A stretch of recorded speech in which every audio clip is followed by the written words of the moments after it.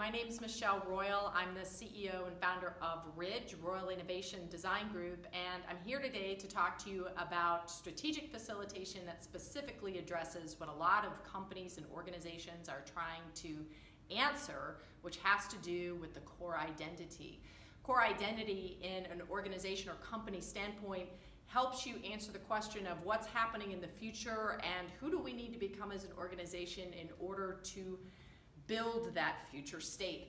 So I have here a sample of what a day of facilitation looks like, which is everything from how we're going to engage together as a team, understanding what disruption and innovation means, empathy maps, which just means putting yourself right smack dab into the center of who it is you're serving, their mindset. Uh, business model canvas, which helps you understand your value proposition or your, your unique differentiator context mapping, which is understanding the world that your customers and your organization is currently operating in, and then answering that core identity question. Now we have a lot of different tools whenever we design a facilitated experience.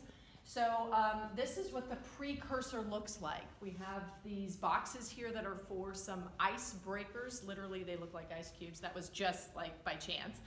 And then uh, some questions that we ask, and these are our empathy maps. These become frameworks or ways of thinking and engaging with the team to make sure that you have your customer right in the center of every single conversation. Because who are you trying to really differentiate against? Yes, it can be your competitors, but your competitors are all trying to get market share with your customers.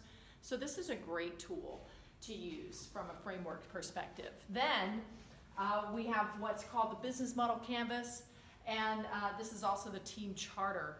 Now we have the rooms set up and we design these experiences so that there's maximum output from your team. We take care of everything so that you don't have to put any kind of mental effort into how you're going to get to that end outcome. But this is just the way that we set up and get you ready for all of the strategic change and the decisions that you need to make as executive leaders. So next time you need to answer the big question of what is the next big wave of innovation, how are we going to get our organization ready for it, this is one of the sessions that can help you get there. Core identity. Thanks.